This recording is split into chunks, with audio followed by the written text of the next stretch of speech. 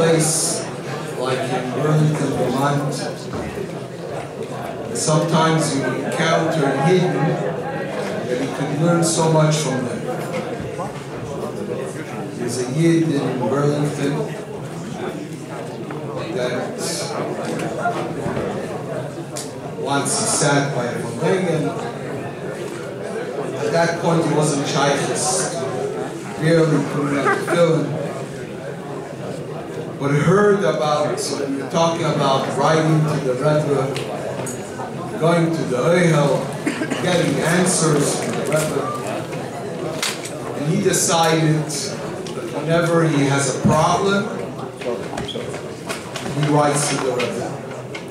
And he told me whenever, whenever I go to New York, I should let him know.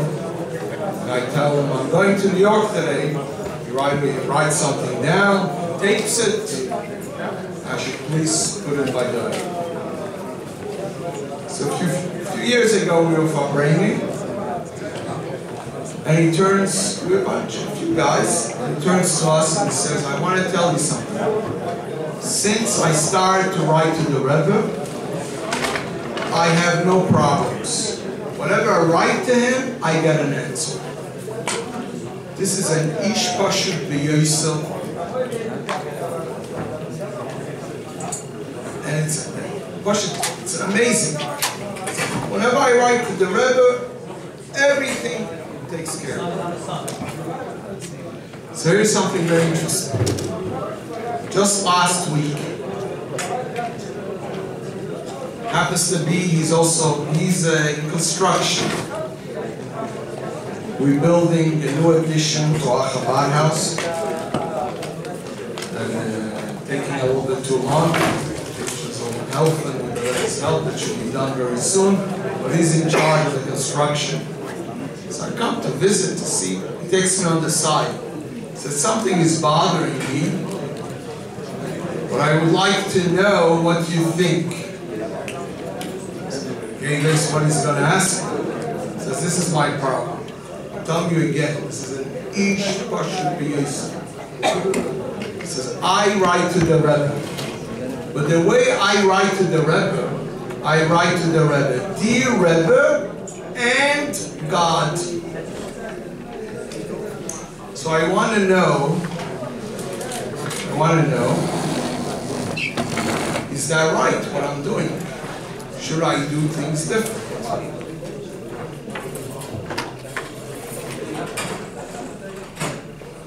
Just to, uh, what he means is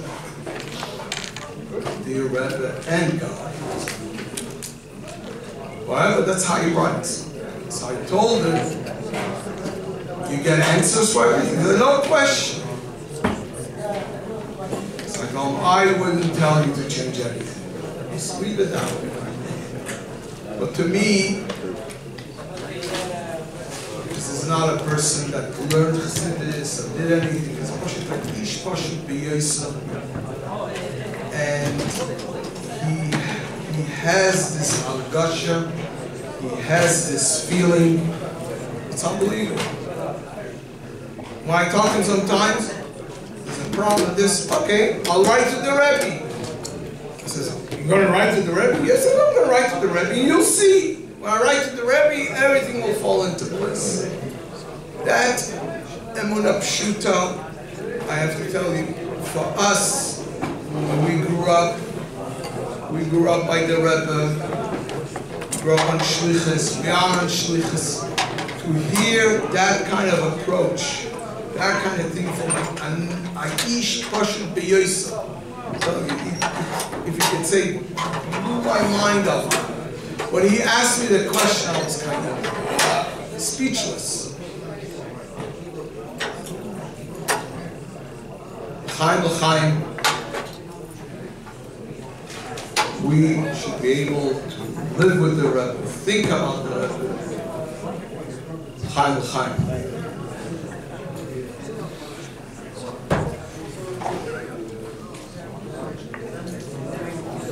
As I mentioned before, a few uh, Medidas Haberhuftas, so these are a few known stories, but doesn't hurt to repeat it as we're sitting here. When my uh, parents went on shlichus to Morocco. So he was very important to my father right away after the kids were born. And he has to bring his children to the Rebbe. Was born Tafshin Aleph, right after the. For the way it was in those years, every two years, they had permission for Shluchim to go to the Rebbe. We took turns. Father came Tafshin Chav. So the first time he was able to go to the Rebbe was Tafshin Chav Beis. Tisha Tafshin Chav Beis. Tafshin Chav Aleph, or Tisha Tafshin Chav Aleph, he already was plotting. How can I not go? And he wrote to the Rebbe, can you please, can I please come?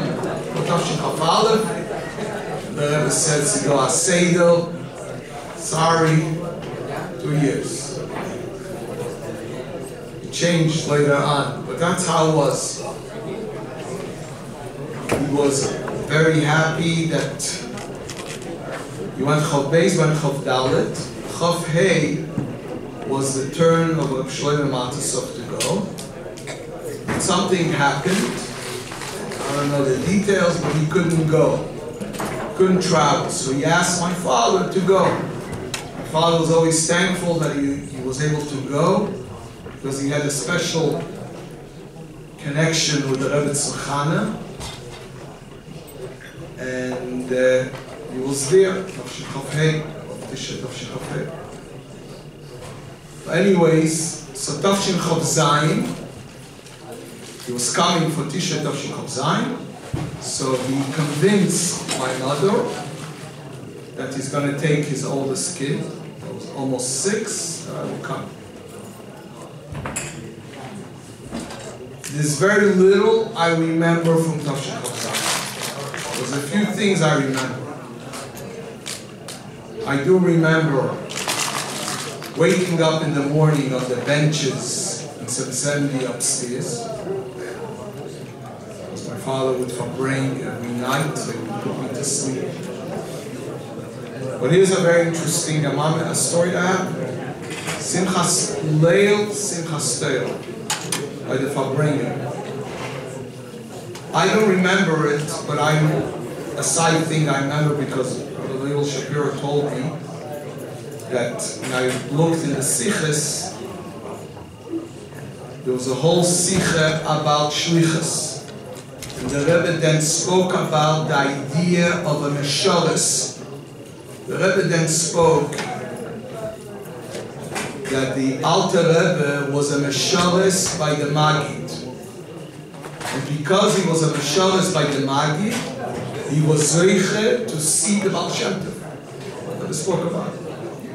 The Rebbe then spoke about the Shluchim. This is besides the idea, the three Madregas and Shlichas, the Rebbe spoke about how in Shlichus is also the idea that you are a Shabbos. Uh, not only that, that everyone then spoke amongst themselves, there must be, because then not too many guests came, whatever. My father then came from Morocco. But here was in the middle, the, the Rebbe was talking, was very, very pushy. It was downstairs, what's called in the Shalash. I don't remember all the details, only man was very, very pushy. Rebbe speaking, and I lost the shoe. I Lost the shoe. And I remember I started to cry. I was crying. And the Rebbe was in the middle talking. The Rebbe stopped and looked. Shmeichel continued. But here's the interesting thing. It's been written about this. I can hear it, uh, as you say, from uh, Rishon. In those days, you went in on Yechidus twice. When you came, when you came, and then when you left. When, when we came, Tavchik Zayin, after a few days we went in Yechidus, and then I was living, leaving, we went in the second time. As we walked in on Yechidus, because the, this I remember. Anything else I don't remember. The door opened. I walked in with my father. The Rebbe looked. He turned to me. Hast du gefunden dein Schuh? Did you find your shoe? Now, think about this. So still the amount of crowd that was there. Here, the Rebbe talks about the Shliach, Shliach's kid.